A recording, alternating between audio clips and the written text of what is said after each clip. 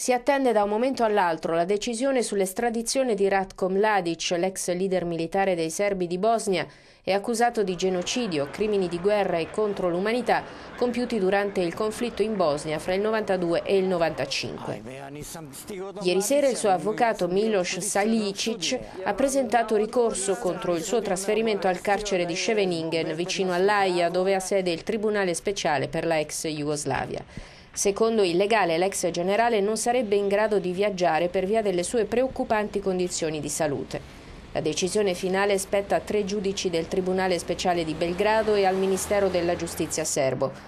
Nelle prime ore della mattinata Mladic è stato autorizzato a uscire dalla cella in cui è detenuto per visitare la tomba della figlia Ana, morta probabilmente suicida nel 94 a 23 anni.